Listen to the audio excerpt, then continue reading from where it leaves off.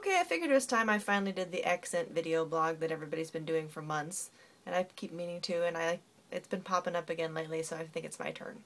So, first you start with a list of words that you pronounce, so here they are, uh, they'll be written below.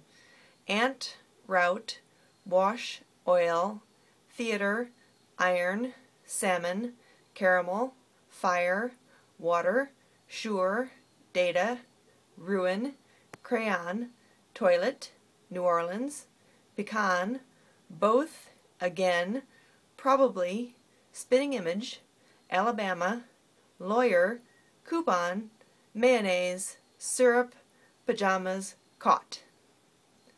So there's my tight little weird northern accent that nobody else in Missouri has. So then you answer the, the following questions.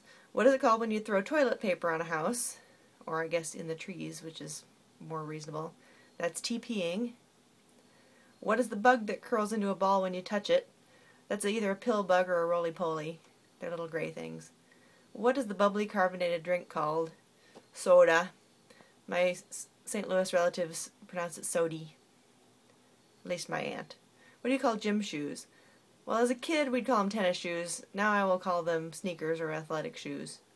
What do you say to address a group of people?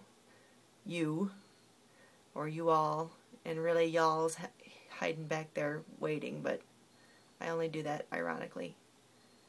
What do you call the kind of spider that has an oval-shaped body and extremely long legs? That's a daddy long legs.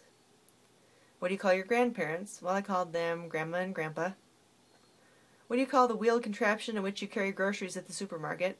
That's the shopping cart, grocery cart. What do you call it when rain falls while the sun is shining?